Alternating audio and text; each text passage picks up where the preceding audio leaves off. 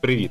У цьому навчальному відео я розповім про дуже важливі етапи роботи, а саме фінальна підготовка до текстурингу UV і Bake. Я на двох прикладах покажу два різні методи, які ви зможете у майбутньому використовувати в своїх роботах. Перший метод стандартний, де я розповім про стандартну UV і не менш стандартний Bake. Другий метод буде про UV під UDIM і Bake UDIMів. Я також розповім про мапи, які я бейкаю і для чого. Відео підійде як початківцям, так і більш досвідченим художникам. Перший спосіб я покажу на цих деталях лазерного цілевказівника гвинтівки. Після того, як ви закінчили робити лоупольну сітку для своєї моделі, вам потрібно буде зробити UV. Немає значення, у якому софті ви це зробите. Головне, щоб вам було зручно. Я покажу на прикладі різом UV. Перше, що нам потрібно зробити, це перекинути нашу геометрію в різом. Для цього можна скористатись експортом і потім імпортом, або використати Bridge. Це плагін для програм, який допомагає швидко між ними перемикатись. Вони безкоштовні і розповсюджуються офіційно. Після того, як наша геометрія потрапила у потрібний нам софт, ми можемо починати робити UV. Спочатку налаштуємо робочий простір. Я в одному в'юпорті залишаю вид тільки 3D, в іншому 2D. Це дасть мені більше розуміння і комфорту в роботі. Починаємо нарізати геометрію на шели. Тут є декілька правил. Перше. На кожному Edge має бути шов. Але не на кожному шві має бути Edge. Іншими словами, там, де Edge, там точно треба різати. Друге. Якщо це можливо, шви робіть на ділянках, які не видно. Намагайтесь не залишати дрібних отворів або заглиблень на шелах, які в майбутньому можуть перетинатись. Тому що для коретного бейку потрібен падінг. Це невеликий відступ від країв шелу. У випадку отвору падінга може не вистачити, і при бейку ми отримаємо артефакти. Також, відштовхуючись від вашого завдання, ви можете робити оверлапи.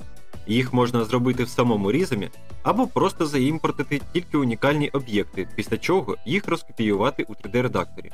Тріми, роблячи тайловий шел з двох боків, без падінгу, і тайли з потрібним текселем. Але у моєму випадку це все не потрібно. Продовжуємо нарізати геометрію на шели. Виділяючи ребра з затиснутим shift, ви можете показати шлях виділення, після чого натискайте клавішу C для розрізу геометрії. Коли shell вирізаний з усіх сторін, натискаємо клавішу U. Це перекине наш shell з 3D viewport в 2D. Продовжуємо, поки геометрія не закінчиться. Коли все готово, нам потрібно вирівняти шели. Спочатку я роблю швидкий пакінг, щоб було зручніше працювати з шелами, натиснувши клавішу P. Після цього я шукаю нерівну геометрію, виділяю ребра, які мають бути рівними, і натискаю функцію Constrain Edge Horizontally, якщо ребро має бути горизонтальним, або Constrain Edge Vertically, якщо ребра мають бути вертикальними. Після чого натискаю U для повторного релаксу геометрії. Також можна скористатись клавішою для автоматичного вирівнювання, але це тільки у випадках з рівною геометрією з усіх боків і відсутністю трикутників.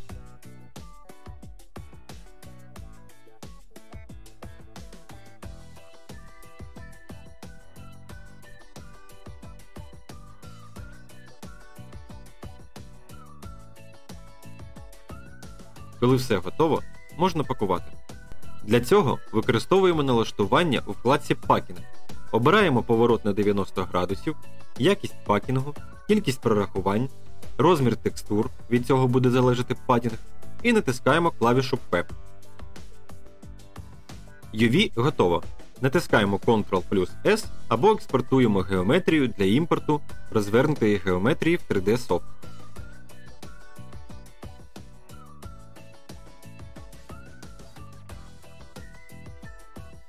Налаштовуємо смуз групи або Hard Edge.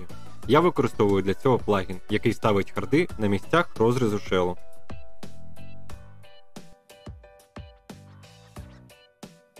Тепер у 3D софті, в якому ви працюєте, налаштовуйте неймінг. Важливо, щоб нейм low-poly геометрії співпадав з неймом високополігональної геометрії, але на low-poly з дописом low, на високополігональний допис high. Виділяємо все і експортуємо.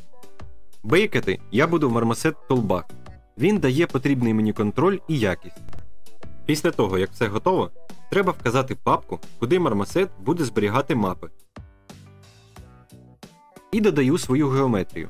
При умовах, коли у нас правильний неймінг, програма сама розгрупує все як потрібно. При умовах, коли неймінг неправильний, треба буде зробити це вручну. Робіть знову ж таки, як вам зручно. І зробити тестовий bake. Потім, при потребі, відредагувати кейдж і напрям бейку. Тепер, обравши потрібні мапи, натискаємо на bake. Я бейкаю стандартні мапи Normal, AO, курватуру, а також Convexity і Concavity для додаткових масок під час текстурингу.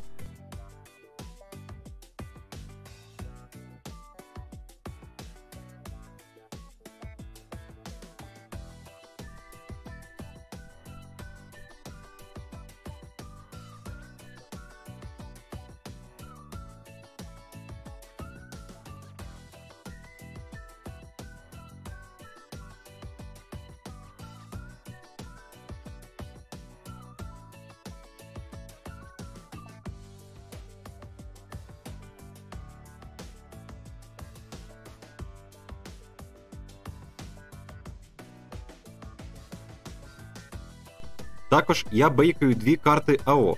На одній я ігнорую об'єкти, які знаходяться поруч, щоб використовувати у випадку, якщо я буду рендерити об'єкт окремо.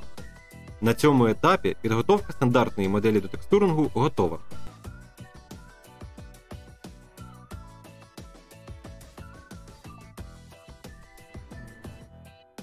Переходимо до другого прикладу з юдімами.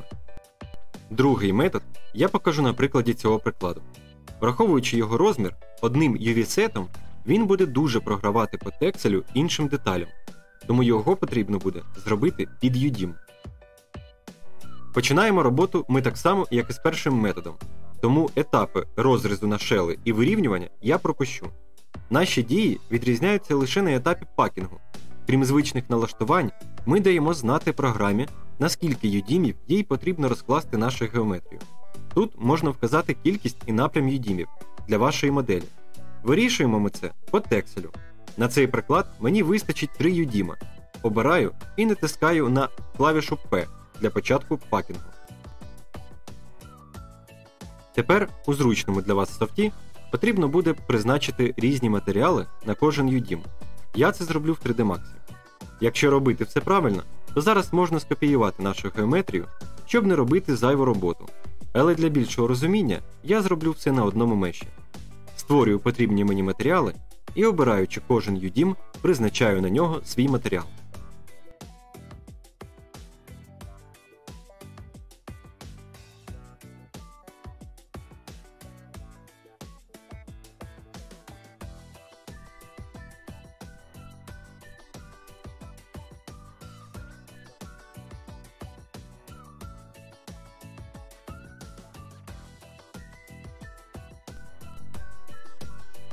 Після цього я зміщую кожен UDIM в основний, використавши до одного переміщення мінус 2 і відповідно мінус 1 до іншого.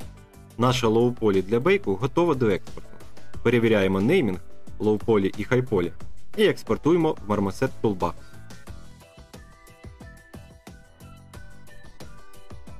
Підгружаю геометрію використовуючи Quick Loader, так як маю вірно налаштований неймінг. Далі тисну на галочку Multiple Texture Sets і бачу, що програма розпізнала всі мої юдіми по матеріалам, налаштовую Resolution, неймінг і інші налаштування.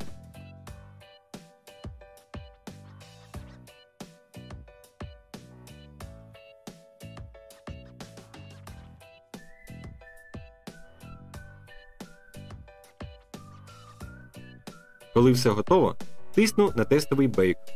У випадку, якщо все добре, обираю потрібні мені мапи і тисну на бейк.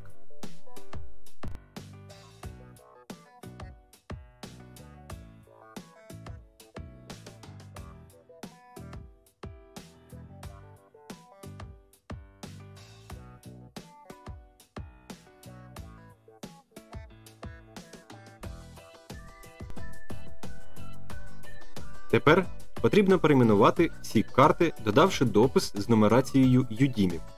Зараз на екрані ви бачите нумерації кожного юдіма.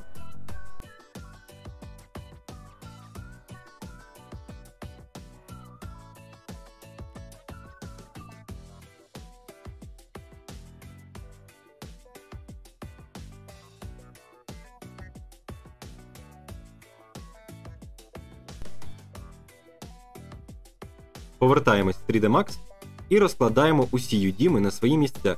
Для цього використовую ID полігонів і призначаю один матеріал на весь приклад.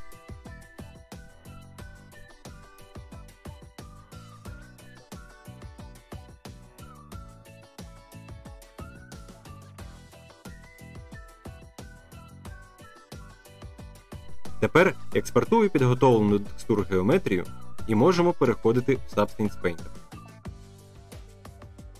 В Substance створюю новий файл, де обираю метод SpecGloss, я працюю саме у ньому. Обираю Resolution, вид Normal мапи і перевіряю, щоб стояла галочка Use UV Tile Workflow. Тепер підгружаю геометрію і всі забейкані раніше мапи.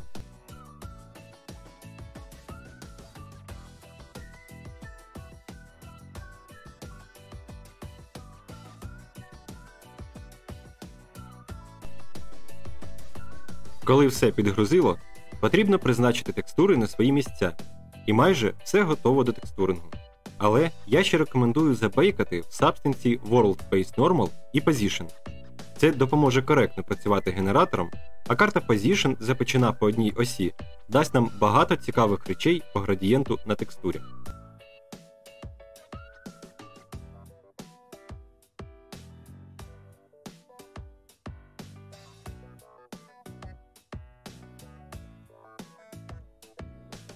Сподіваюсь, вам сподобалось, а головне допоможе дане відео. Дякую за перегляд. Вже по традиції підписуйтесь на канал, щоб не пропустити нові відео, підтримуйте ЗСУ, наближаючи нашу перемогу, і залишайтесь у безпеці. Дякую за перегляд. Слава Україні!